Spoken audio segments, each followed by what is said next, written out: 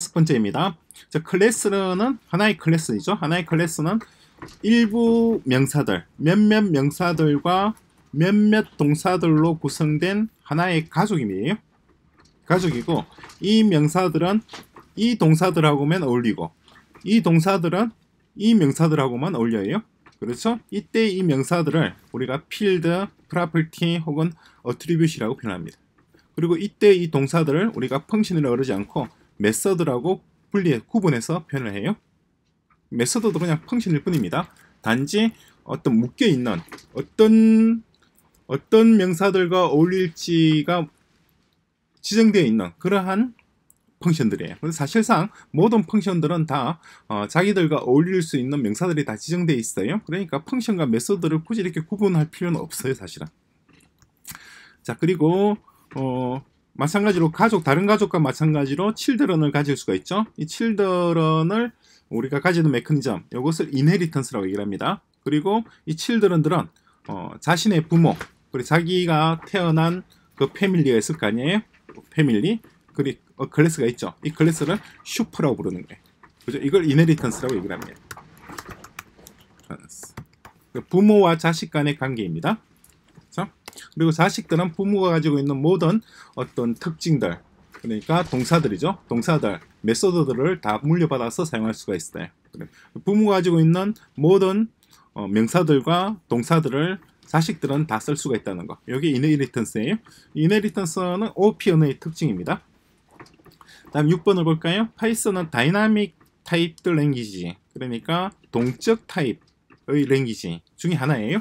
dynamic typed language가 많아요. 자바스크립트도 그렇죠. 어, 그러니까 어, 자바스크립트가 대표적인 다이나믹 타입인데 이, 이러한 언어들은 어떤 데이터 타입 그러니까 각각의 명사들, 각 명사들의 데이터 타입을 지정하지 않습니다. 명사라고 하면은 instance이거나 variable이거나 argument거나 파라미터거나 이런 경우잖아요. 얘네들은 그냥 다 그냥 베리어블입니다. 인스턴스도 베리어블이고 아규먼트도 베리어블이에요. 베리어블을 어, 어떤 어떤 상황에서는 instance라고 부르기도 하고 어떤 상황에서는 argument라고 부르기도 하는 거죠. 그러니까 동사 앞에 올 경우에는 instance라고 부르고 동사의 보어 보어로 쓰일 때는 argument라고 부르는 거예요. 그렇지 않고 그냥 혼자 쓰일 때는 variable이라고 부릅니다. 그러니까 variable이 언제 어떤 장소에 등장하느냐에 따라서 이름을 좀 바꿔서 이렇게 지정을 해 놓은 거예요. 사실 이것도 그렇게 구분할 필요가 없을 없죠. function과 method를 구분할 필요도 딱히 없고 instance와 variable과 argument를 구분할 필요도 딱히 없을 것 같은데 어쨌거나 뭐 구분을 하면은 조금 더 사람들이 이해를 잘할 거라고 생각을 했나 봐요. 자, 그래서 어, 결론을 내리면은 이런 결론입니다. 클래스는 하나의 function이고 instance를 만들어, 만들기 위한 function입니다. 그게 클래스예요. 모든 instan, instance들은 클래스로부터 비롯되는 거죠. 그리고 instance는 variable이에요. 그죠? 그리고 모든 variable은 뭔가의 instance란 말이에요. 그렇죠? 그리고 variable은 반드시 데이터 타입을 가져요. 이 데이터 타입이 뭐예요? 이게 바로 그냥 클래스입니다. 클래스이고. 그리고 데이터 타입은 어떻게 되나요? 데이터 타입은 needs a fixed amount of memory space. 어떤 정해진 메모리 공간을 필요로 합니다. 예를 들어서 integer는 뭐 16비트가 필요하다. 캐릭터는 8비트가 필요하다. 뭐 string, 리스트 등등등등 이렇게 어떤 고정된 데이터 타입이 그렇단 말이에요. 데이터 타입은 어, 고정된 양의 메모리 공간을 필요로 하지만은 그렇지만 variable variable은 고정된 양이라고 말하기는 애매하겠네요. 왜냐하니까 리스트 같은 경우, dictionary 같은 경우 heap에 저장되는 variable들은 그 양이 늘어나거나 줄어들거나 하게 되잖아요. 그렇다 하더라도 그렇다 하더라도 예를 들어 리스트가 있다고 합시다. 리스트에서 뭐 뭐 뭐 car라고 하는 것도 있고 그리고 또 뭐가 있나요? 뭐, boat 있고 또 뭐 train 있고 요런 리스트가 있다고 합시다. 리스트 아이템이 아이템이 3개가 있는 리스트예요. 리스트 자체 얘를 variable 우리가 A라고 하는 뭐 리스트 A라고 하는 variable에 담았다고 가정합시다. 리스트 A라고 하는 variable 자체의 메모리 공간은 늘어나고 줄어들고 할 수는 있겠죠. 하지만 자세히 보시면은 이 카가 차지하고 있는 메모리 공간 boat가 차지하는 공간, train이 차지하는 공간은 고정돼요. 그렇잖아요.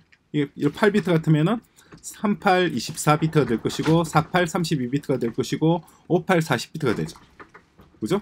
고정된 언제나 리스트 A는 전체 24 더하기 32 더하기 40만큼의 40비트만큼의 메모리 공간을 차지합니다. 이건 fixed amount예요. 그죠? 정확하게 fixed amount. 나중에 이 메모리 공간이 예를 들어서 airplane에서 더 늘어날 수도 있어요. 늘어나기도 하고 줄어들기도 하고 요런 타입의 데이터들은 다 heap에 들어야 되죠. 그렇죠? 근데 car 자체 하나만 딱 떼서 보면 어떻게 되나요? 카 자체는 카 자체 예를 들어서 뭐 car1 해서 Genesis Genesis라고 하는 데이터를 만들었어요. 이때 얘는 string이잖아요. 그죠? 이때 이 데이터는 둘, 넷, 여섯, 일곱 개, 8, 7, 8이 56에서 56비트죠. 얘 56비트는 그대로 정해져 있는 겁니다. 56비트이고 얘는 스택에 들어가요. 얘는 바뀔 수 없단 말이에요. Genesis에다 나중에 어 뭐 Genesis 복수형으로 이렇게 바꿔준다. 뭐 혹은 뭐, 뭐 여기다 1을 붙인다거나 이렇게 해줄 수가 없단 말이에요. 어, 바뀔 수가 없습니다. 이게 fixed amount입니다. 그러니까 리스트 A, 리스트 A라고 하는 리스트도 사실상 fixed amount 고정된 메모리 공간을 이용하는 데이터들의 집합일 뿐입니다. 그렇죠? 자, 그래 볼까요? 마지막으로 어, 우리는 각각 variable, 각 variable 혹은 다른 말로 noun이 되겠죠. 명사들의 데이터 타입을 지정을 할 수가 있어요. 그래서 얘는 x equal 1이다. 그러면 x는 뭐예요? integer란 말이잖아요. 그래서 얘를 integer 이렇게 지정해 줄 수가 있어요. 그죠? 그리고 어 여기 데이터 타입이 되겠죠? 데이터 타입이라고 하는 것은 이 x가 만들어지는 클래스가 무엇인지를 지정하는 겁니다. 그렇죠? 그런데 파이썬은 그렇게 하지 않습니다.